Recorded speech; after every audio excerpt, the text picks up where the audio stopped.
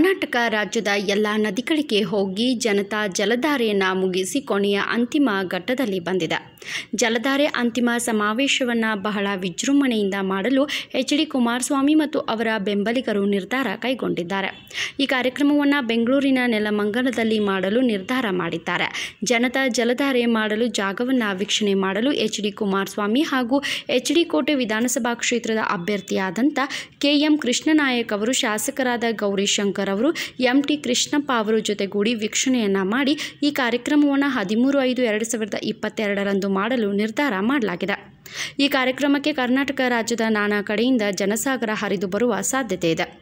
Bureau report ರಾಜಮುಂಡೆ Bharat Vaibhava news Mysuru. Thanks for watching. Read, discuss, and debate with editor Dr. Yan Prashant Rao. Wanted reporters in print, digital, and visual media for Bharat Vaibhav Daily Newspaper, BV News Channel, and BV Fast Web News from all the talukas of Karnataka. If interested, send your resume to 9482633333.